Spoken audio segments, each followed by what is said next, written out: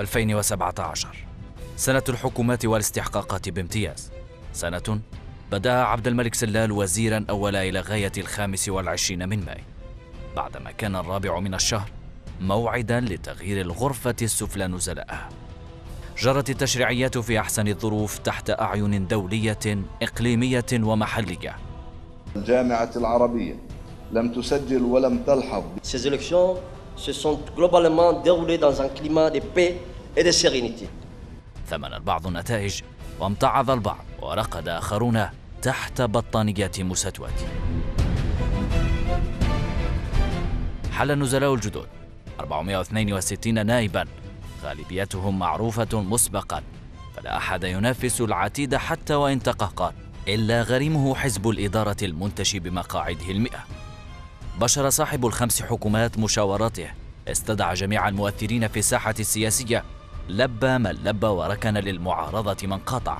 كل المؤشرات كانت توحي بحملها للمرة السادسة. غير أن بيان الرئاسة كان له رأي آخر. رجل الثقة صاحب عدل يحمل الحقيبة الأولى. أن أشكر فخامة الرئيس وأي شكر. حذر تبون قائمة وزرائه التي طال الإعلان عنها حافظت أسماء على حقائبها وأسقطت أسماء على ثقل وزنها ومنحت فرصة الاستوزار للمجتهدين وعلى سبيل الدعابة أهديت الحقيبة للبطالين لتحقيق حلم الاستوزار لثمانية وأربعين ساعة.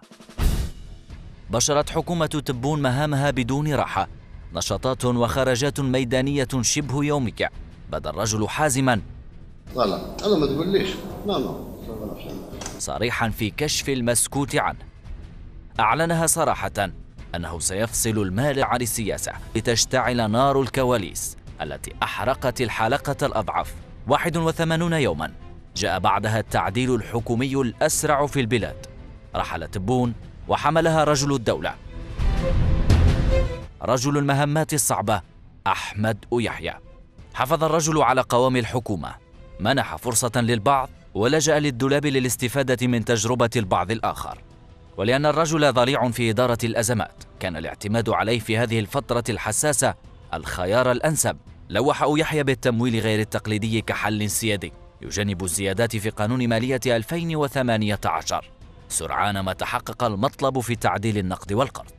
استدعيت الهيئة الناخبة للمرة الثانية لتجديد المجالس المحلية وحدد الثالث والعشرين من نوفمبر كيوم للاقتراع. انتهت الحملة وقبلها انتهى البرلمان من مناقشة قانون المالية الذي حمل الزيادات في الرسوم والجباية والمواد البترولية. صوت المواطن على مجالسه الجديدة وبعدها بثلاثة أيام صوت النواب على القانون بالأغلبية التي يضمنها التحالف الرئاسي.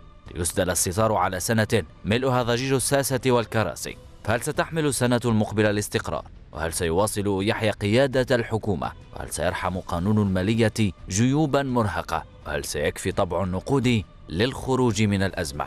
الجواب في 2018